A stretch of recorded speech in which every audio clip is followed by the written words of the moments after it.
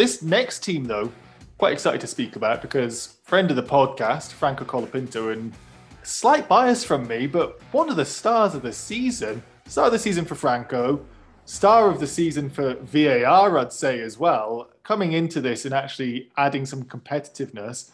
And in all fairness, Reece Ushijima, podium as well, was getting decent points.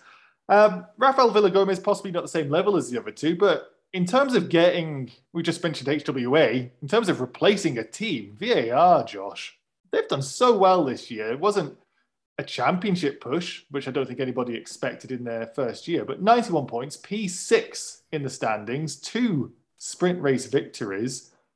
Not so bad at all.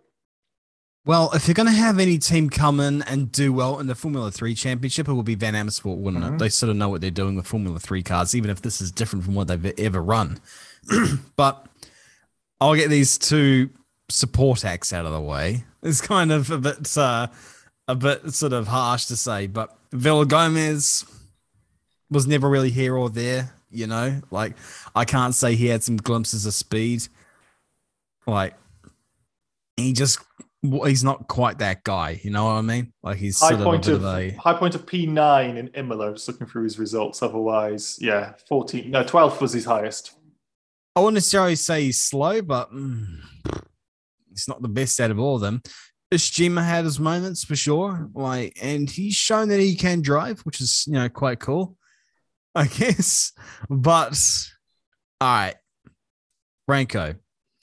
Um, when he came here for TRS uh, a couple years ago, like fighting against the M2 competitions in the Kiwi Motorsport car, it's just like you could see this kid was fast. Like genuinely talented kid.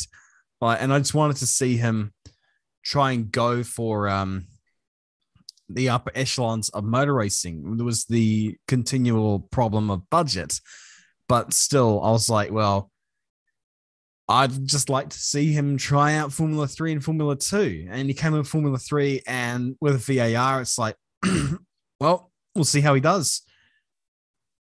Easily one of the best drivers this year easily one of the best. Um, and you know, it's just again, I can't praise him enough. Like I'm a massive believer in Colapinto. Like, if you were to ask me, like, pick a driver that you want to back all the way to go to Formula One, it'd probably be him.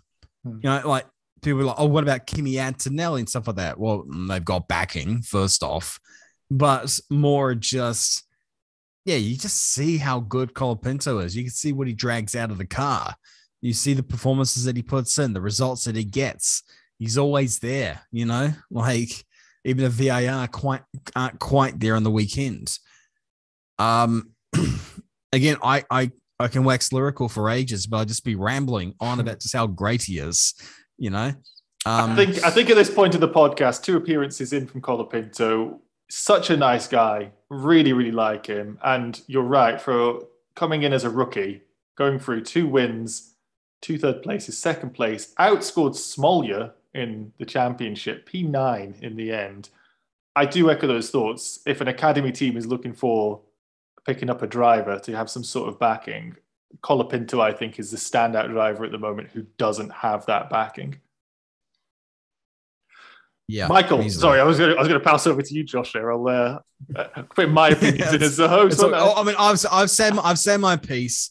Uh, Franco again, one of the best drivers of the year. You know, may not have gone in contention for cha- in contention for the championship. He doesn't need to. You know, it's not all about who finishes at the top. It's just about the performances you put in.